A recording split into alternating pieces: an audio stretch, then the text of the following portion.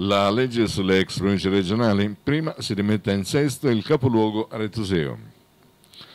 Lunedì prossimo scadrà il termine per gli emendamenti al disegno di legge sulle province. Sarebbe il caso di valutare la proposta dell'elezione degli organi in un solo turno, evitando il turno di ballottaggio, in modo da assicurare il massimo di governabilità e bipolarismo, evitando accordi sottobanco e inciuci anche tra forze politiche contrapposte e la possibile spaccatura delle coalizioni nel primo turno presidente della regione d'altronde si elegge a turno unico e non si capisce perché le province dovrebbero essere elette in modo diverso.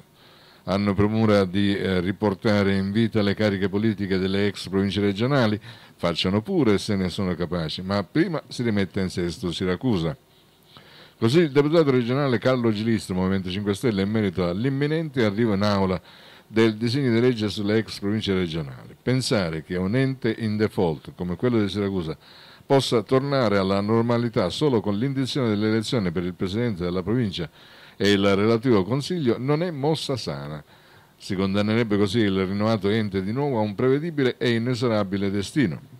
Il prossimo arrivo in Ars del disegno di legge caro alla maggioranza sarà per me un'occasione utile per tornare a lottare per l'ente territoriale della nostra provincia.